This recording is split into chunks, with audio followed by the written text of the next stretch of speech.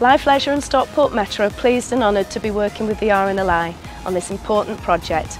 Raising awareness of water safety and drowning prevention is crucial and something we're incredibly passionate about. If our partnership saves just one life, we've helped make a difference. The RNLI rescues thousands of people every year around the UK and Ireland, but aims to help people, especially children, not to get into difficulty in the first place. That's what this project is all about. Up, yeah, and we're tired. So what one thing would you think would be quite important that we would be able to do? Float, good girl, yes.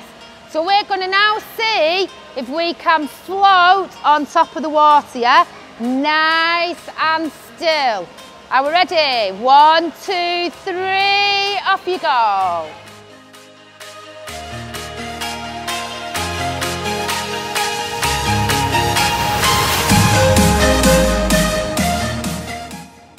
Did you go a bit wobbly wobbly when you were being a star?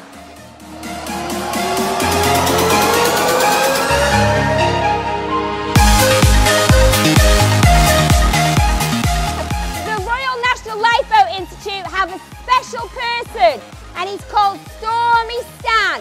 After three, I wanted to shout Stormy, Stormy. Can anybody see him? Can anybody see him?